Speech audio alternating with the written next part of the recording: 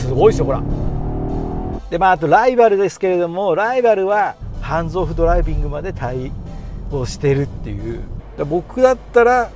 X5M50i の方が、えー、ラブカース TV 川口学です。今日は BMW の X5 の M これを試乗すると。もう見てください。こんな感じでもう見るからに。走りそうなオーラがバリバリに漂ってるモデルですけれども、まあ、細かいところは内外装チェック見ていただければと思いますけれども、まあ、ポイントとしてはここですね。タイヤフロントタイヤのサイズが295の 35ZR21 というのに対してリアが315の 30ZR22 ということで前後で異形のサイズを履いているというのが特徴です。まあちょっとなかなか最近ないですよね。そういう意味ではいかに走りに振ってるかというところだと思うんですけれどもここが注目。それとこうやって見ると結構車高が高いなというふうに感じる方もいると思います。まあエアサスだともうちょっと隙間詰まってる感じなんですけれどもこの車はご覧になっていただいて分かるようにメカサスなんですね、まあ、M モデルなのでメカサスということなんですがこの辺りも走りがどのように変わるかというのは非常に気になるポイントではあります。でまあぐるりと見ていくと専用のはい左右2本ずつ出てる4本出しのマフラーなんかもきっちりと備わってますしまあこのタイヤのフェンダーのところにですねフラップがついてますけれどもこれは日本のほうきだとはみたいになるんでついてるわけですよね。だそれだけ太いタイヤが入ってると。こんな感じです。ちょっとエンジンもチェックしてみたいと思います。2回ですね。これが4.4リッターの V8 ツインターボ。X5M のコンペッションなんで625馬力までパワーアップされてます。そして750ニュートン。これを発速 AT を介して X ドライブを駆動しているという4駆ですね。そしてこのここですよ。このブレースがもうとてつもない強烈なブレースが入っているのでフロントの合成がノーマルと全然違うと思います。でこの辺りも走りにどんな風に効いてくるかというところはチェックしておきたいところなのかなという感じでございます。もうとにかくあらゆるところが走りに対してもうこれやりすぎなんちゃうのっていうぐらい手が入っていることは間違いないです。エンジンのスタートストップはここ赤になってますね。M は赤赤いエンジンスタートストップボタンということで。でおなじみの起動画面。ハンドルがこの M ボタンがあるのがやっぱり大きな違いですよね。でエグゾーストここで変えてでモード切り替えはこう押すとこのようにロードとスポーツがあってさらに長押しするとトラックモードになるということです。メーターの表示も変わります。というようなもうこれでサーキット走るんかという感じですけれどもそんな車になっております。ちなみにこちらはい。マッサージがついてますのでマッサージ機能までついたスポーツモデルってやっぱすごいですよね。これなかなか他にはないと思います。ということで走ってみたいと思いますけれども排気音はこんな感じでございます。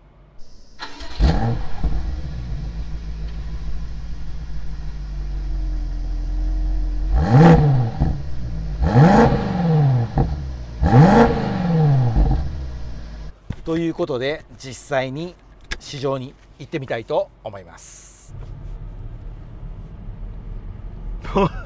もうねザラザラしてます。タイヤと路面の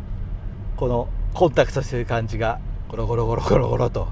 いうのが伝わってきてもこの走り出しでただもんじゃないぞっていう感じしますね。ではここから都内に向けて出発したいと思います。一般道ほんのちょっと通ってすぐに高速という感じですね。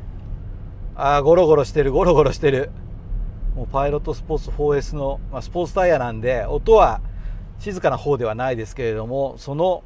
ロードノイズはもちろんですけれどもやっぱ振動が伝わってくる感じがあってこれはやっぱりメカサスかつ、まあ、M モデルなんで引き締めてるのでその辺りはもう完全に音と振動になって車に伝わってくるなっていうのはありますよね。これはもう間違いないところです。でそれに加えて V8 のエンジンの音が低く、まあ、聞こえてきてるので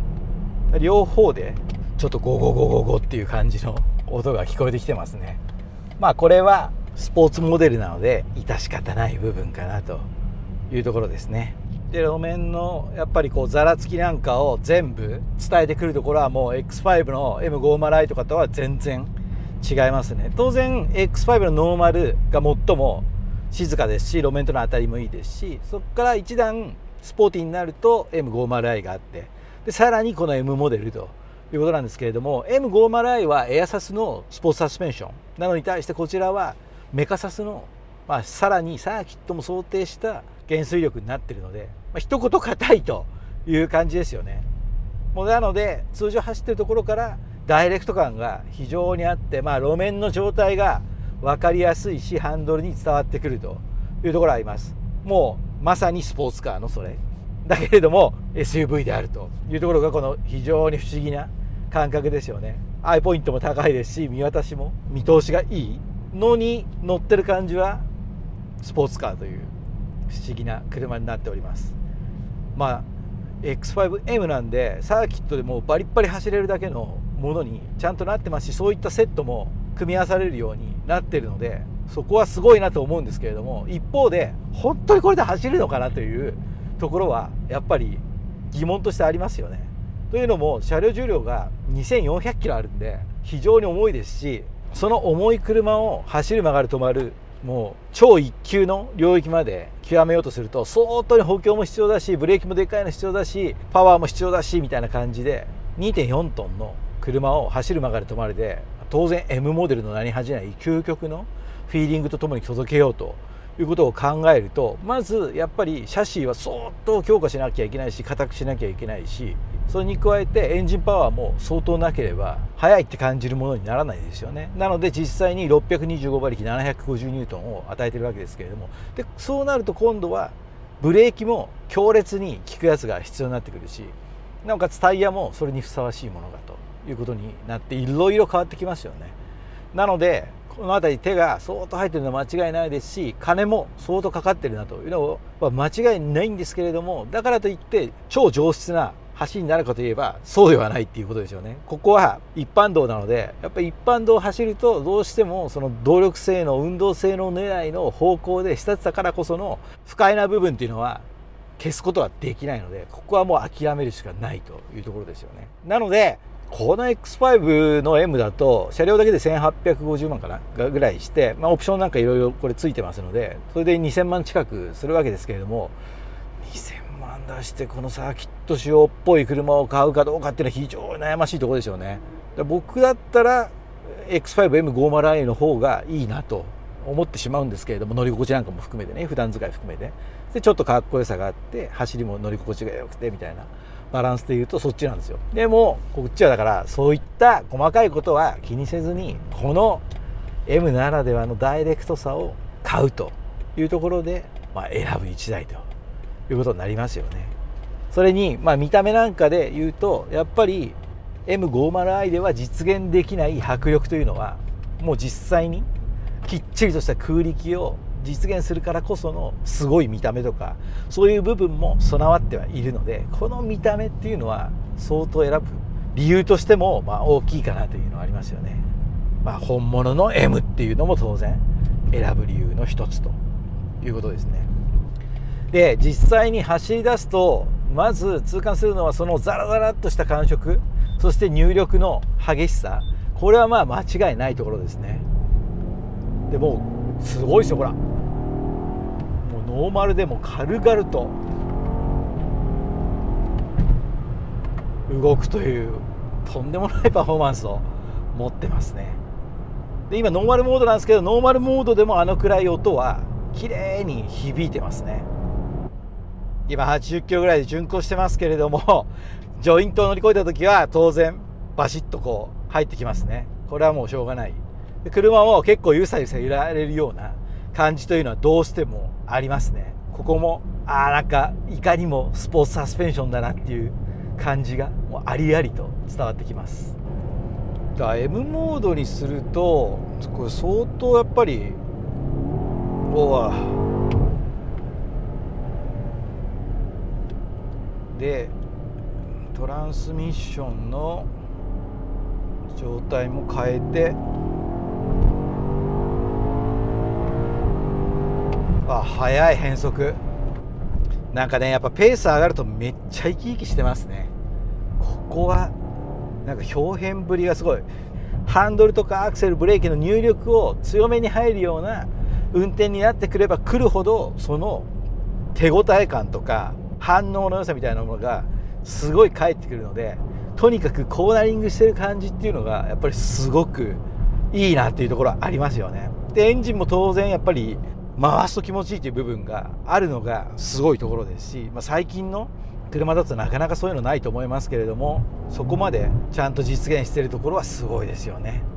で僕はあの硬い硬いって言ってますけれどもこの X5M の名誉のために付け加えておきますと入力自体は硬いんですよ。でタイヤも大きいしメカニカルのサスペンションなんでやっぱりこう動きとかはそのまんま実際のものを伝わって入ってくるというところがあるのでそこは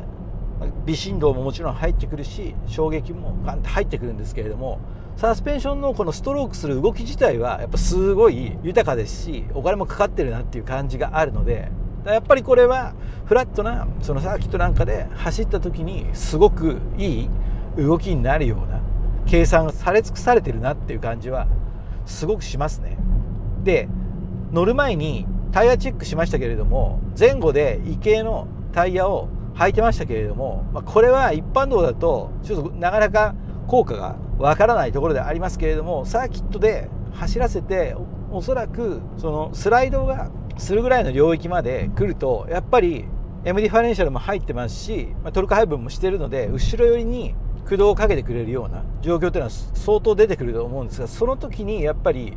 その異径であり太いサイズを履いていることのメリットっていうのが存分に出てくるんだろうなというふうに思いますし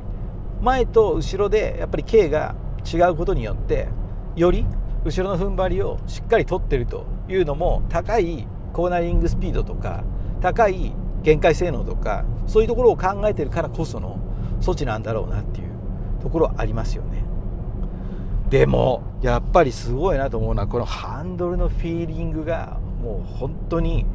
磨き抜かれたからこその情報の入りようのなんかこう多さというかすごいですね。ノーマルの X5 とか M50i とかだともっとハンドルからは振動とかそういったものも含めて情報入ってこない感じにはなってるんですけれどもまあ快適性っていう意味で。そのなんかこう快適性っていうタガを外してやっぱりそのロードインフォメーションみたいなものを伝えようという狙いがあるハンドルになってるのでもともとしっかりしてるハンドルのフィーリングですけどもそこに情報がいろいろこう入ってくるので本当になんかこう路面を手のひらでこう触って確かめてるような感じの感覚っていうのがありますね。今さっき快音を響かせたのは本当に最初の方だけでも渋滞になってしまいますのでここからはアシステッドドライビングをかけて、走りますけれどもまあスポーツモデルですけどマッサージ機能もついてますしベンチレーションもついてますしあ今アシストプラスレディが出たので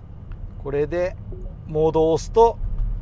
ハンズオフで OK と。いうことで これスポーツモデルなのにハンズオフ OK ってすごいですよね。それがちゃんと備わってること自体がすごいぞと。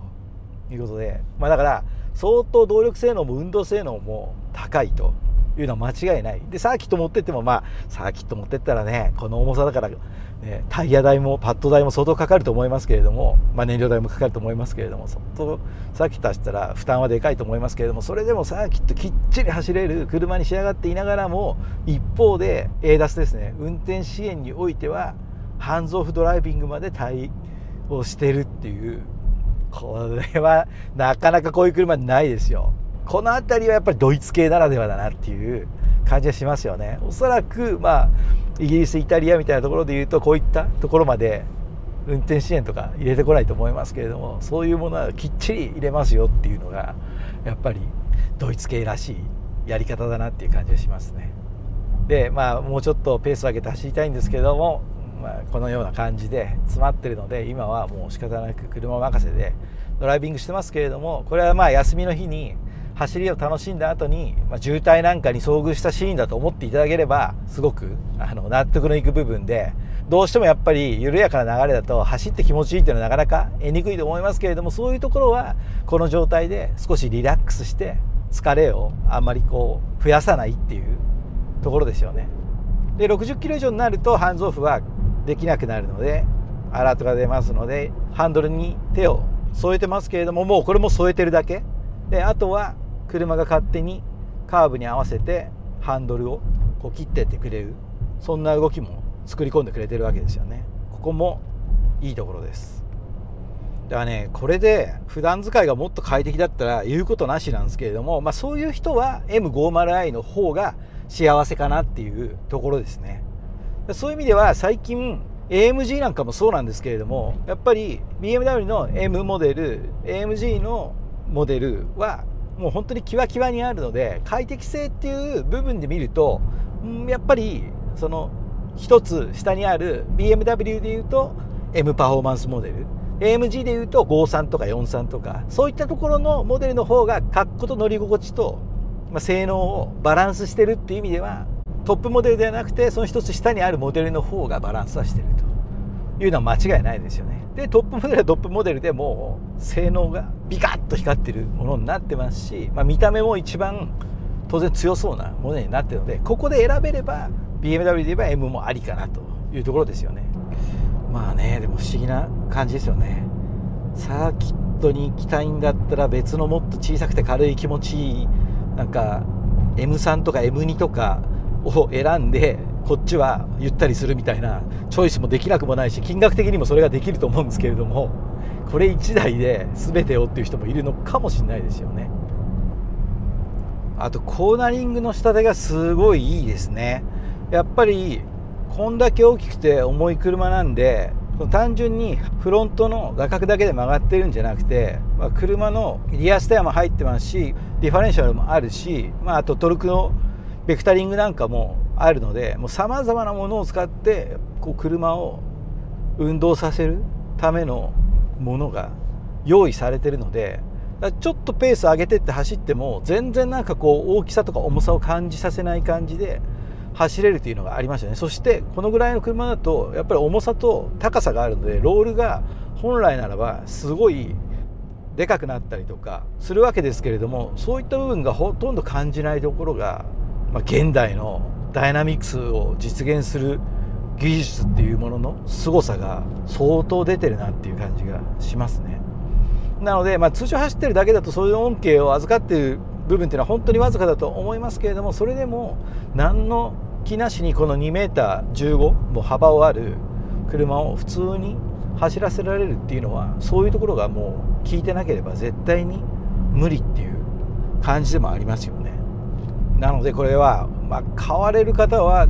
その快適性っていうのは一部やっぱり確保しなきゃいけないなっていうところはありますけれどもそれを犠牲にすることを了承するのであれば非常に強烈に気持ちいい世界を味わうことが約束されているっていうことになるわけですよね。その意味ではすごい車だなっていうふうに感じますね。全然ちっちゃく感じるもん車。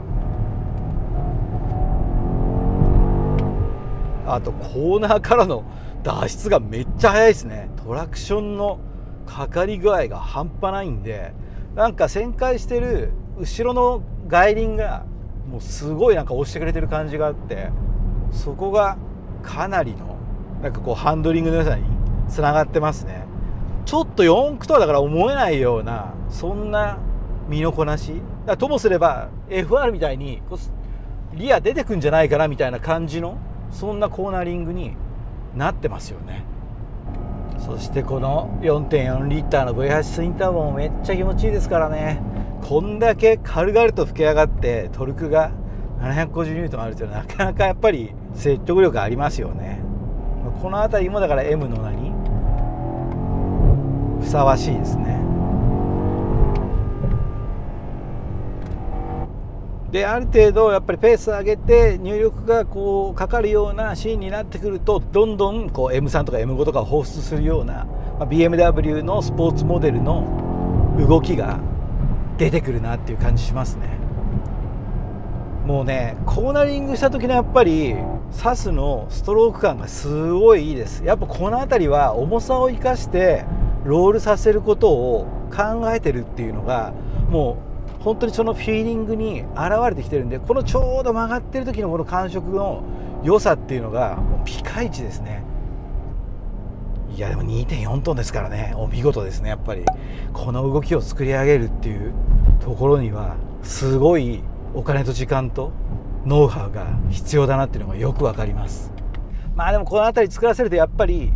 上手だなっていうのはありますよね。M は本当にすごくこの辺り上手で。AMG だとこの辺りはもうちょっとオラオラ系になってくるのでなんかコーナリングのフォームのなんかこう気持ちよさみたいなところとはまた違った感じの走りなんですよね。だどっちかっていうと AMG はもっと豪快にう